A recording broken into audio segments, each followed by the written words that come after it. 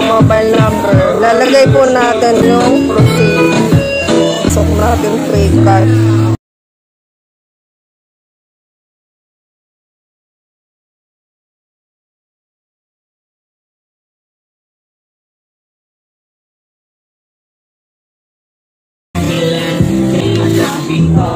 Ayan, nag-cash in tayo guys. So, ito.